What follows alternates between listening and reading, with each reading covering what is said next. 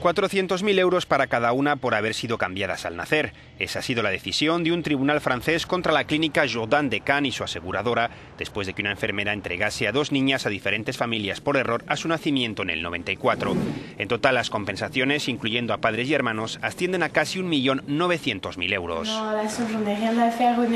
Euh. El dinero no significa nada para mí, para ser honesta, explica una de las hijas. No cambiará nada. Lo importante es que la clínica ya no puede culpar a las madres porque se ha demostrado que ha sido error suyo. Deberán asumir la responsabilidad por este acto horrible que cometieron.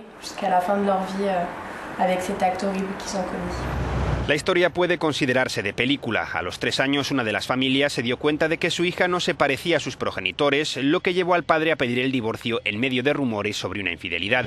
A los diez años descubrieron mediante pruebas de ADN que habían sido cambiadas. Sin embargo, ambas familias decidieron quedarse con las hijas que habían criado, aunque hubiese sido por error.